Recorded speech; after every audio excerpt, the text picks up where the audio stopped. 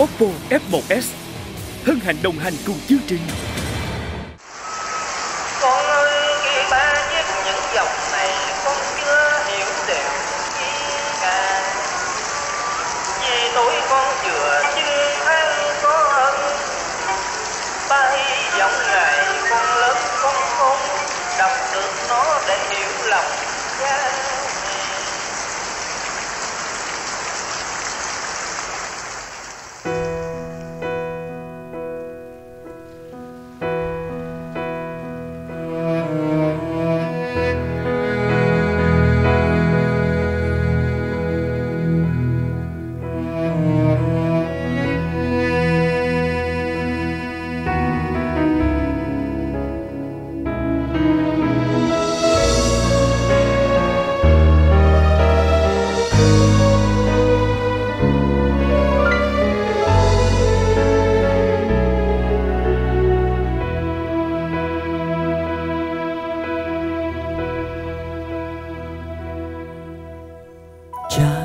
kể nhiều lắm về thời niên thiếu.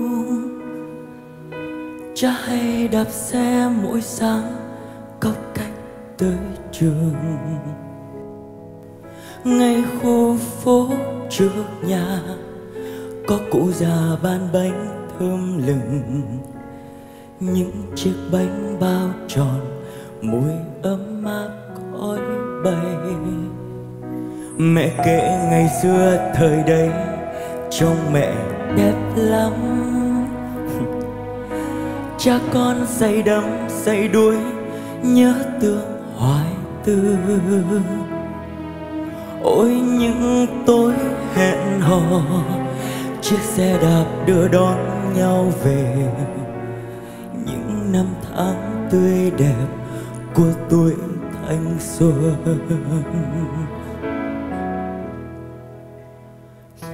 Già rồi, đúng không mắt kem tay chân thì run. Cha già rồi, đúng không? Sao cứ nói lung tung chuyện cũ? Cả cuộc đời với cha, chỉ sống để yêu một người là mẹ của các con thôi. Có lẽ cuộc đời còn có bao nhiêu lần, mười năm nữa.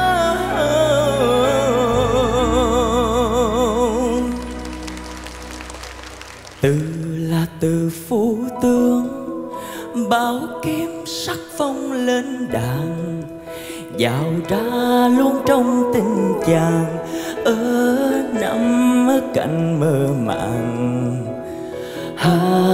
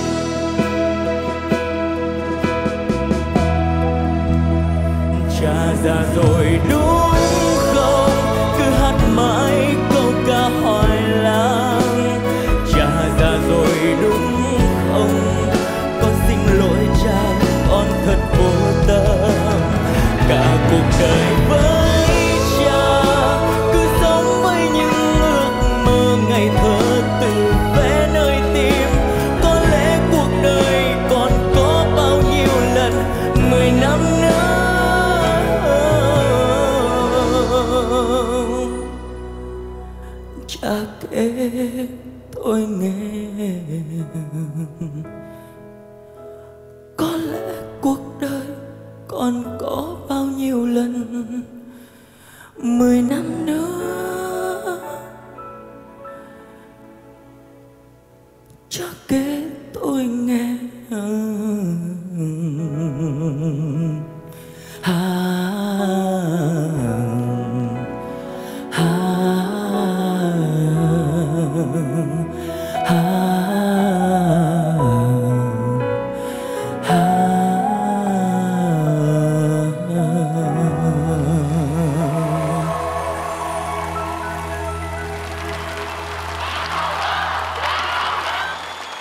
Dạ, dạ rồi đúng không?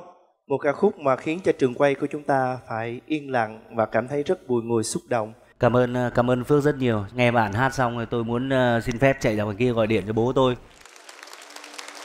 Thật ra thì ờ, chúng ta viết về gia đình, chúng ta viết rất là nhiều những cái bài hát về mẹ. Nhưng quả thật là những cái bài hát về người cha, một người cha thô giáp, gồ ghề nhưng mà cũng đầy cảm xúc. Và bạn có một cái mà tôi rất là thích bạn, tức là bạn có cái nhạc ở trong người bạn. Thật ra cái nhạc ấy không học được đâu. Bạn lại về với anh Đức Chí là cũng rất là phù hợp. Bởi vì anh là người là rất là cao tay. Tôi là người viết nhạc dân gian. Hầu hết những cái tác phẩm của tôi là dân gian đồng bằng Bắc Bộ. Nhưng vào đây thì quả thật nghe một cái câu dạo cổ Hải Lang mà tôi cảm thấy là rúng động. Và tôi thấy rằng tôi còn phải học nhiều lắm. Bởi vì mỗi một cái vùng miền trên đất nước này đều có những chất liệu rất là hay.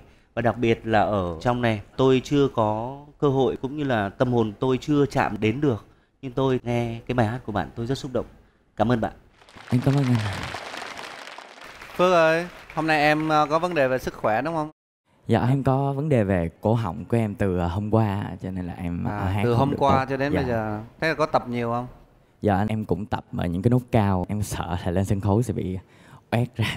Cái bài hát này thì rõ ràng là về cái mặt ờ, cảm xúc á thì nó rất là đầy. Nó có cái câu là còn bao nhiêu ờ, cái 10 năm nữa đó. Cái câu đó nó khiến cho tôi cũng cũng chạnh lòng nghĩ về bản thân mình. Tuy nhiên có thể là tôi đang kỳ vọng tôi chờ đợi một cái phước khác với những vòng trước. Tôi cần một cái sự đột phá. Nên là tôi chưa cảm lắm. Và một số câu ở điệp khúc nó khá là quen. Do si do do la. Đấy, đối với tôi thì nó chưa lạ. Nhưng mà tôi nghĩ là nó ở mức gọi là hài lòng. Được chúc mừng em. Anh cảm ơn. Rất tiếc là Phước hôm nay giọng không được tốt. Đáng nhẽ là Phước có thể làm cho người ta khóc được với bài hát này. Thật ra thì ờ, Giáng Son ơi không sao đâu bởi vì ờ, nghe rất là cảm Nhưng mà xúc. sở trường của Phước là làm cho người ta khóc mà. Thật ra chúng ta ngồi đây nói thì dễ lắm nhưng mà tôi nghĩ bây giờ thử lên hát xem chịu không nổi luôn. Em cứ mạnh dạn lên và anh chúc mừng em rồi. Sing May Song là gì? Các thí sinh phải tự viết và phải tự hát cái bài hát của mình. Mà hát khó lắm. Tôi tin chắc là bây giờ tôi hát cái là toàn bộ hội trường này đi về hết ngay. Tôi khẳng định luôn. Thế thì Lê Minh Sơn không biết là bạn Phước đã là ca sĩ trước khi là nhạc sĩ rồi. Với cái suy nghĩ như vậy thì người ta luôn luôn đòi hỏi là em sẽ phải hát hay hơn nữa. Chị muốn nói về ca khúc của em. Khi mà em đưa cái câu uh, dạ cổ Hải Lang vào, thực sự chị rất là suy nghĩ về chuyện này. Chị thấy nó chưa được ngọt lắm. Nếu mà bài hát của em có cái chất liệu của dân gian vào, có lẽ là nó sẽ ngọt hơn. Tôi không nghĩ thế đâu. Có hai huấn luyện viên mà cứ tranh cãi nhau suốt này.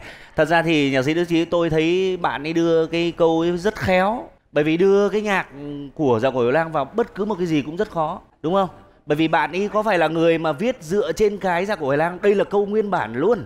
Mà cái quan trọng nhất ấy là bạn ấy mix vào đúng nơi, đúng chỗ. Và làm cho mình cảm thấy là mình mình sướng. Đúng Vậy thôi. nơi, đúng chỗ ở phần lời Nhưng về phần âm nhạc tôi vẫn có cảm giác gần Tôi vẫn chưa thấy ngọt lắm. Đấy là cảm giác của tôi. Cho phép tôi được giải thích cái phần dạ cổ Hoài Lan một chút xíu bởi vì tôi là con nhà tài tử cải lương cho nên là tôi rất là quen thuộc với bài hát này. Và chị Giáng Son chị rất là tinh ý khi chị nhận ra có một cái gì đó lận cận ở bài dạ cổ Hoài Lan. Bởi vì những ai mà chơi tài tử cải lương chắc cũng thừa biết là từ là từ phú tương báo kiếm sắc phong lên đàn Dạo ra rồi. luôn trong tình chàng năm canh mơ màng. Nó xuống hò chứ nó không có xuống xề à, Thì anh này á Tôi mới hỏi ảnh là, Phước quê em ở đâu? Nó dạ quê em ở Bình Định đúng không ạ? Dạ, Quảng Ngãi. Quảng Ngãi à. Đấy Thì tôi, tôi mới buộc miệng lên tôi nói chứ Tôi chưa bao giờ được nghe dạ cổ Hoài Lan mà nó có cái chất bài tròi như vậy, Tức là ta ta ta ta. Đó là tâm tình của một người Nam Trung Bộ mà họ yêu cải lương. Vì lý do đó mà nó thuyết phục được tôi. Chứ còn như lúc đầu tôi nói với Phước rằng là Thật ra em đã có cái chất liệu rồi, Thì mình không cần hình thức ở bên ngoài nữa. Những cái câu đó là không cần. Và một điều nữa, tôi phải nói rằng Phần âm nhạc như anh Hải Phong nói, Nó có một cái gì đó, Nó lặp lại một vài ca khúc của Phước đã có từ trước đây cái giai điệu từ ban đầu của bạn nó cũng không có khác gì với những cái bài mà à, khi chúng ta già đúng không? Nhưng tôi phải gọi phước là một người viết tản văn có giai điệu. Giống như em đang viết một cái tản văn em cứ nghĩ như thế nào và em viết ra và em chỉ mượn giai điệu để hát nó lên thôi. Và nếu chúng ta nhìn ở cách đó thì chúng ta sẽ yêu ca khúc này thôi. Và thứ hai nữa chất liệu của em là một chất liệu quá hay và không có lý do gì để chúng ta không ờ, yêu ca khúc này cả tôi chúc mừng em. Xin cảm ơn anh. Tôi thấy trong trường quay mà khi phước hát á thì có một vài người dùng khăn giấy để chậm nước mắt của mình và tôi nghĩ rằng rất nhiều khán giả trong sân khấu của chúng ta đã xúc động với ca khúc này. Còn không biết là với hội đồng chuyên môn thì quý vị cảm nhận như thế nào về ca khúc của phạm hồng phước? Về một cái đề tài gia đình viết về cha hoặc mẹ thì tôi nghĩ đó là một cái đề tài rất khó. Khi mà tôi nghe phước viết về ca khúc này tôi cũng có một chút rung động nhớ về cái người cha của mình. Tuy nhiên, cái giai điệu này thì tôi thấy không có mới, đặc biệt là khi mà phước lồng vào cái đoạn dạo cổ hoài lan, cái giọng nam của phước, cái chất nam bộ nó chưa có ra, làm tôi bị hẫng tuy nhiên là tôi cũng sẽ bấm chọn phước vì cái tình cảm mà phước đặt vào trong bài hát. Xin hết.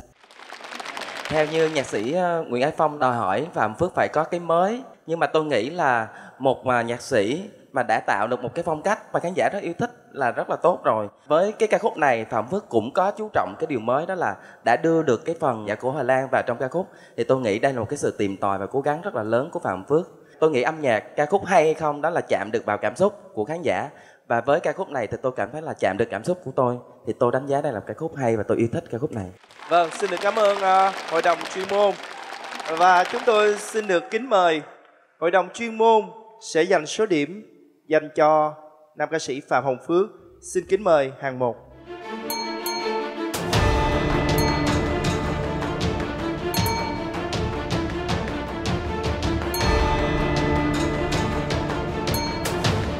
Như vậy chúng ta có 7 người chấm điểm cho bạn. Xin được kính mời hàng hai. Xin mời.